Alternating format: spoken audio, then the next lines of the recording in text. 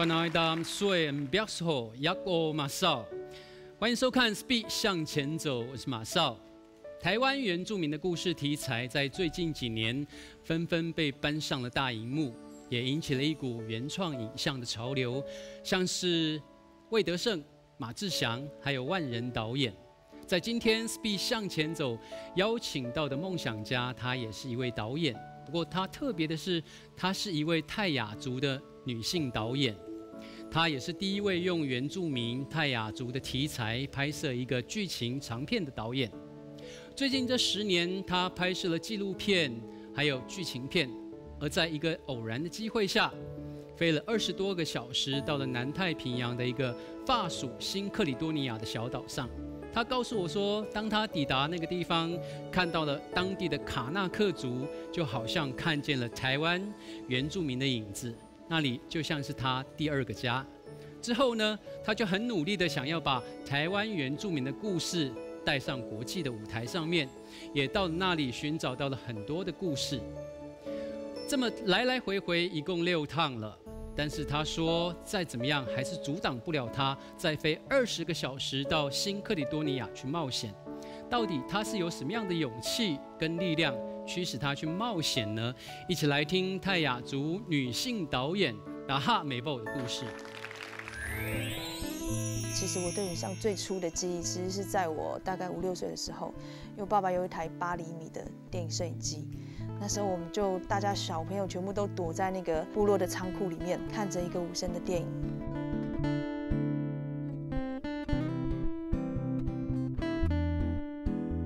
不是一个在部落长大的孩子，然后当我第一次要拍我自己的影片的时候，其实是隔着一层纱在看自己的部落。我其实蛮遗憾，我没有在部落长大，我落后了人家很多学习泰雅的机会。变成我要更加倍的把它补回来，那影像是我可以做的部分。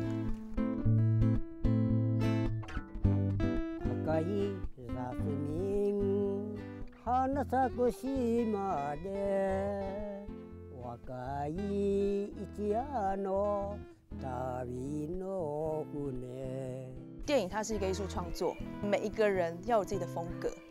我可能不是最厉害的，可是我的东西其实是特别的，是别人没有看过的。为什么？那是因为我的身份。其实原住民的东西，它是可以拿得出国际，也回得了台湾的一个题材。我甚至还想要拍全世界南岛民族的影像故事，这是我一个更大的梦想。呃，各位观众大家好，我是泰雅族的导演，我叫拉哈梅布，然后我的汉名叫做陈杰瑶。然后拉哈美布呢，就是拉哈是我奶奶的名字，然后美布是爸爸的名字。那今天呃来这边就是来分享我的工作，然后还有我的就是对我的创作上的一个梦想。那刚刚有特别提到我的族名跟汉名，为什么要先讲这个？我觉得要分享我的梦想之前，我还是要让大家知道呃我的背景，然后。我的就是我的我我自己成长的背景。那其实拉哈梅波这个名字是我三十岁以后才开始用的名字。呃，因为那时候刚好我有机会就是接触原住民电视台的工作，我就想说，那我来原住民电视台工作，我是不是要有一个打样的名字？然后就问，哎，就打电话问我妈妈说，你可不可以帮我取一个打样的名字？然后我妈妈说，哎，你一生下来你就有答案的名字啦，你叫做拉哈。拉哈是奶奶的名字，然后你还有父名，父名就是你爸爸的名字叫美布哦，所以我想说哦，原来我有族名，我叫拉哈美布。然后之后我开始去部落或者去别的国家，我介绍我自己的时候，我都会先用我的族名介绍我自己。那刚刚讲到我的汉名，那其实我的汉名对我来讲也具有非常大的意义，因为我在我呃三十岁之前，我其实从大概。四岁吧，我就，嗯，因为爸爸妈妈工作关系，我就搬到台中市去，然后在台中念呃小学、国中、高中，然后一直到大学来到台北来念书，然后甚至是我的工作，我做的就是跟影视相关的工作，然后一直到这几年间，其实，呃，影视业其实我很少很少碰到原住民的朋友，所以在这过程中，其实我。因为小时候，因为我妈妈她就是老师，所以我常常会听到一些呃都市原住民朋友跟我分享，他们可能在都市生活，然后有被歧视的一些过程。那其实我其实会觉得蛮疼惜的，因为我非常幸运的是我没有经历过这样的过程，因为刚好我是老师的孩子，然后功课又还不错，所以我一直是被列为是一个比较模范的学生，所以我也很敢勇于在就是呃。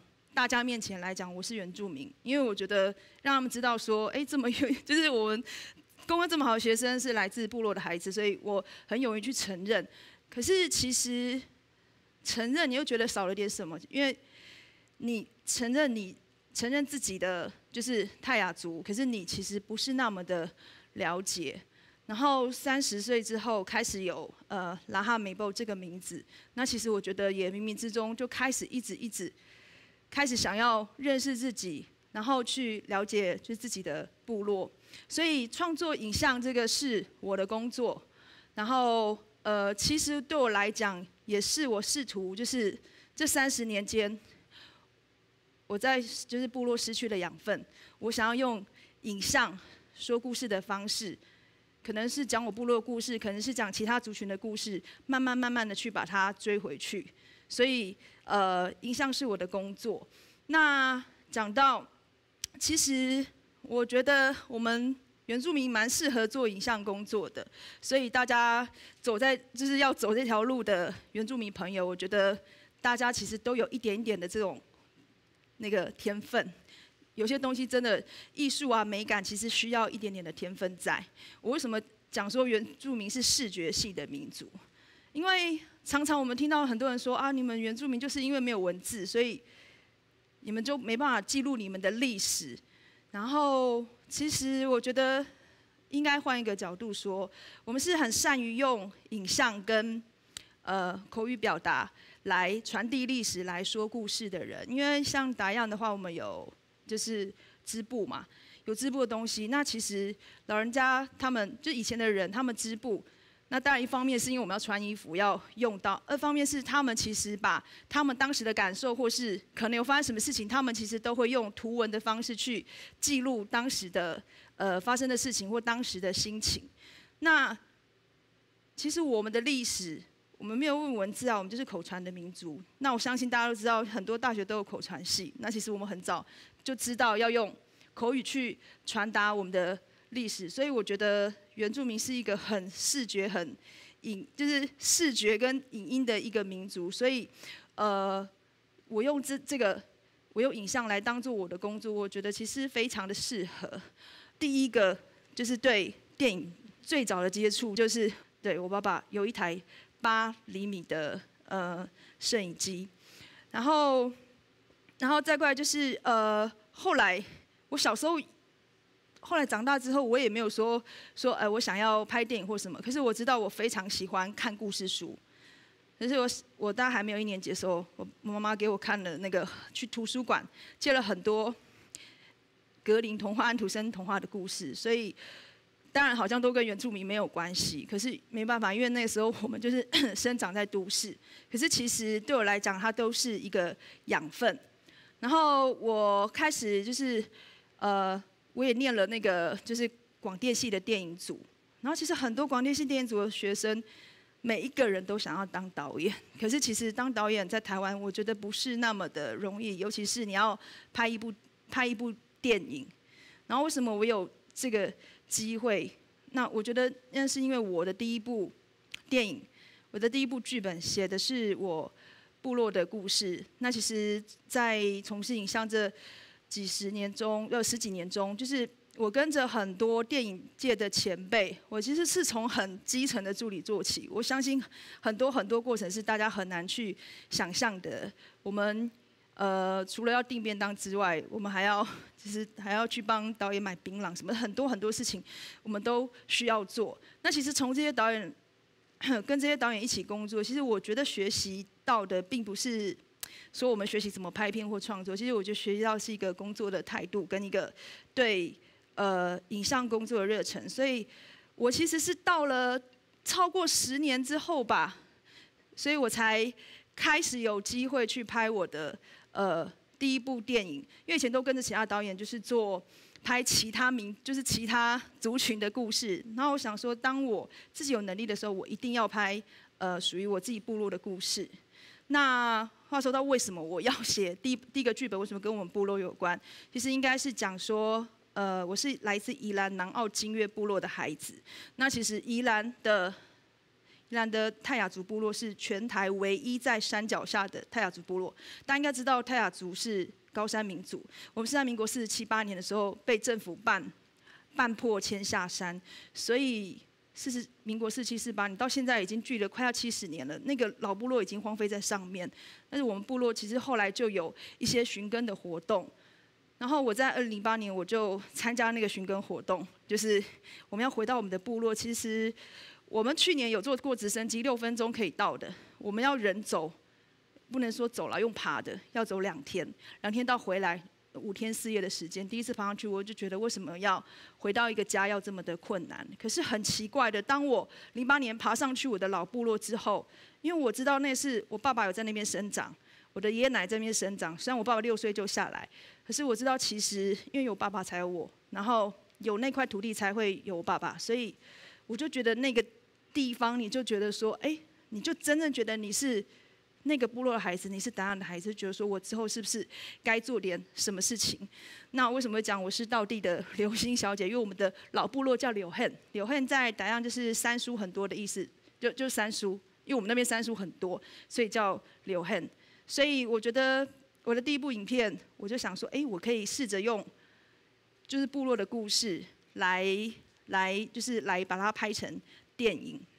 然后其实还要再讲到说，因为我的部片叫做《不一样的月光》，它其实是从傻运之中的故事去呃，去就是我们南澳有一个日据时代的一个历史事件叫傻运之中。我为什么会从那个事件去延伸？因为傻运之中跟我的奶奶，我奶奶也叫喇哈，就是我们奶奶讲吴亚，就是我们的吴亚，我们的吴亚其实也在那个事件中送老师过河，只是他没有被冲走，而且也是因为他。当时去现在台北的中山堂去演唱《三日》这种歌，才让日本的总督知道这个故事，然后才把这个故事把它拿上台面，然后变成一个非常非常重要的当时的一个历史事件。那我记得那时候下山之后，我去去扫墓，因为我的奶奶很早很早就过世，当我还没有出生的时候，我就跟我爸说，他我说他我说我在那边扫墓，他知道我是谁吗？那他看得到我，我爸说你看不到他，可是他看得到你。然后当时我就觉得，就起了一阵鸡皮疙瘩，我就觉得我一定要写一个这样的故事，所以这个我写了一个这个剧本，我也送到文化部，也得了一样剧本，然后后来就把它拍成了，把它拍成了电影。所以《不一样月光》它等于是我拍给部落的第一个礼物。其实后来我也拍了很多的纪录片，是跟我们的部落有关系。那很多人都说。你拍电影一定要拍原住民的嘛？然后我说台湾电影爱情故事有人拍，都会有人拍，就没有人拍原住民。那我当然要拍原住民的故事。那甚至有人说原住民的故事你拍电影不会卖钱。那我觉得如果你要把电影变成一个商业电影，商业电影如果它的逻辑是很多人要看的一个电影叫商业电影的话，那是我的电影它可能不会是最多人看的。可是我能讲的是。原住民的电影，它绝对是永远都会有人要看的电影，所以这是一个很一个非常特别的文化，而且这题材我觉得非常的特殊，它是一个可以走的原住民文化，真的就是可以走的走得出国际，也可以进得了家门的一个文化。然后，所以呃，坚持去创作原住民的这条路，一是让我觉得，其实自我认同就是一个。呃，一个我很大的勇气，为什么？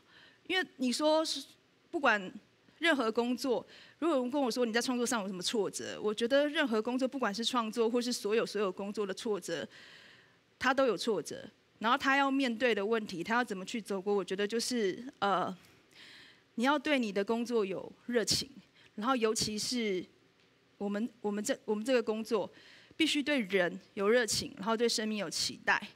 所以，这是我一直一直觉得，我做影像工作是一个非常幸福的事情，而且它也是我去追求、去认识自己、呃，去认识自己、认识原住民的一条路。那其实我一直觉得说，我一直以为我只会拍台湾的原住民，可是没想到在二零一二年，有一个非常非常奇妙的机缘，让我呃遇见了，就是南南太平洋岛屿的另外一个世界的原住民，然后让我觉得，哎，让我觉得，呃，道理很远的国度，然后透过影像去认识跟我们一样的人，这个经验非常特别，而且我也很希望可以。呃，透过台湾去连接整个南岛民族，我们可以去拍一个属于世界原住民的一个影像。那其实今天就是有带来这个影片，然后现场跟大家分享一下这个一个非常不一样的一个世界。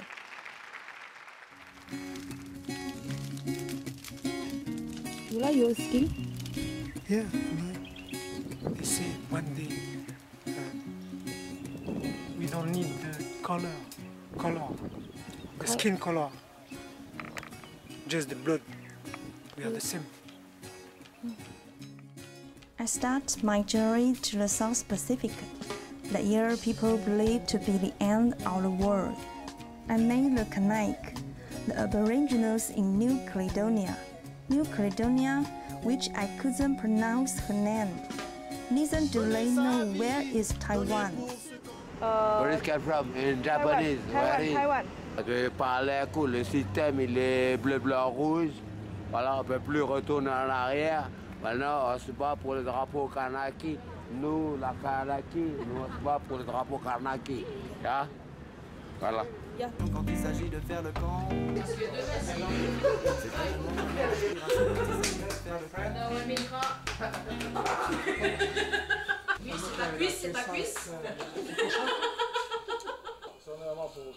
Such a family gathering reminded me of the nights with my own tribe. I don't know French. He doesn't know Chinese. Neither Chinese nor French. It's our mother language.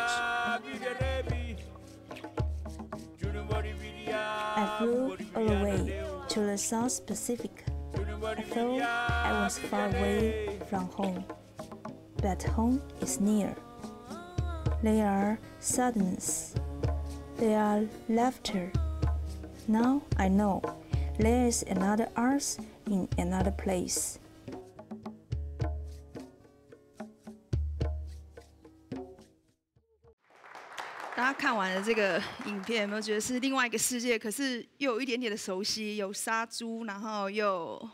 有一些感觉都跟原住民非常的相似。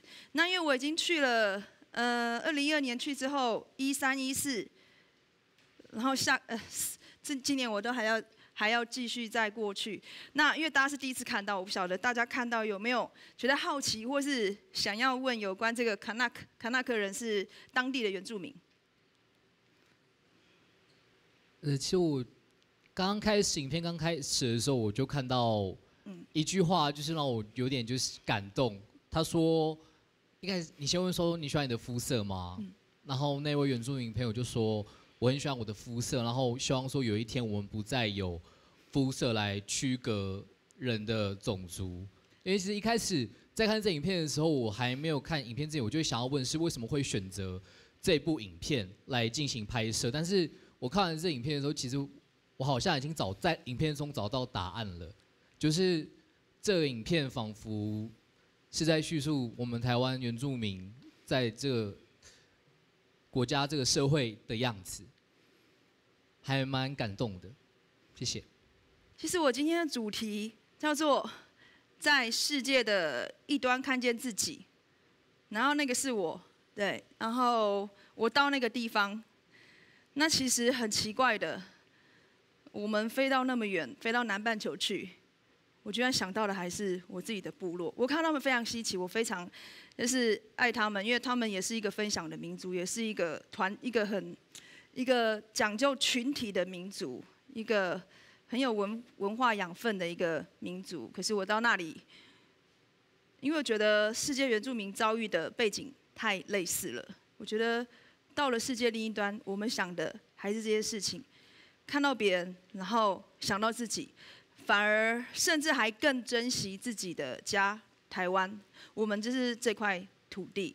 刚刚讲到卡纳克，卡纳克是他们当地的原住民的种族，他们占那个国家的不是国家，他就占那个岛屿的百分之八十几。那我们是占百分之二，所以刚刚里面的一个艺术家讲的，他们的那种被在自己的土地上不能当自己的主人的那种感觉，是我们台湾的放大版。对，所以我会有非常深刻的感觉在里头，所以我就想说，哎，是不是？其实我们今天做影像创作，那我讲原住民的故事，那我现在发现，在世界的另一端有不一样的我们在那个地方，那我是不是可以把这个？每天大家想到要国际要跨界，就觉得这个 合作是有点恐怖的。可是我觉得非常呃，我觉得这个梦想是可以执行的梦想。然后等于是大家知道，六千多年前其实有个学说说，他们就南岛民族族群是从台湾这个地方过去的。对，所以我们现在是不是试图台湾也可以带动一个世界南岛民族的一个影像创作、说故事的一个平台或者一个行动？所以这就是我现在除了台湾之外，想要再多做的一个，在延伸的一个属于全世界国际性的一个，呃，说影说世界原住民故事的一个梦想在里面。那时间非常的短，我知道。那其实演讲结束之后，其实我们原住民的故事是一直在继续的，然后我的记录也会一直在持续。然后呃，谢谢大家今天来听我的分享，谢谢。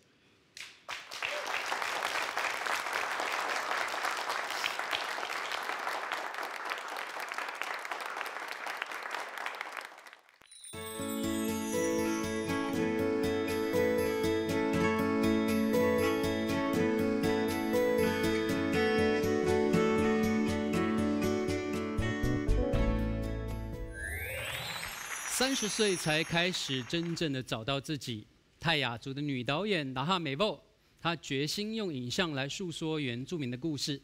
现在她更要跨越国际，继续用影像来说原住民的故事。她的勇气跟决心有没有带给你一些启发呢？Speed 向前走，带着你的梦想一起向前继续迈进。我们下周见。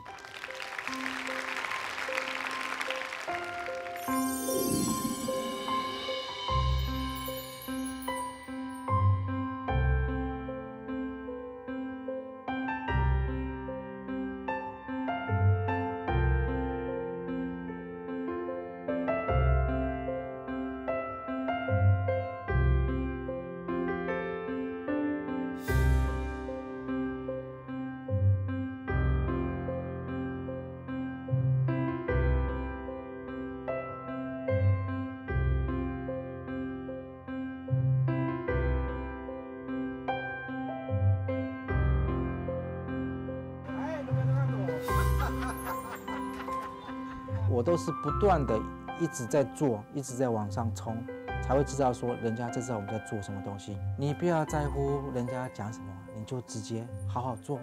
你把你的耳朵捂起来，你用你的两只脚，用你的两只手，好好走出去，不能放弃。如果放弃的话，我们可能就不会发展出我们的草帽。如果放弃，什么都没有。我们就把这个叶桃做了很多的包包。为什么我们的包包？做了那么多漂亮的，但是为什么那些须须都得拿去丢掉了？这是丢掉，就好可惜，可以再做别的东西呀。也就是因为这样子，所以我们就发展出我们自己独一、独二，啊，绝对是全国唯一独一的，有非常特色的一个编织的帽子，用叶桃、能啊去做出来的一个帽子。请你戴一下我们的草帽的部分，哎，我们的草帽的部分来讲的话，它是一纳。一针一线把它做出来的，也成为我们部落里面有非常成功的一个部落的产业，让我们的妇女有钱，让我们的部落的妇女经济有所改变。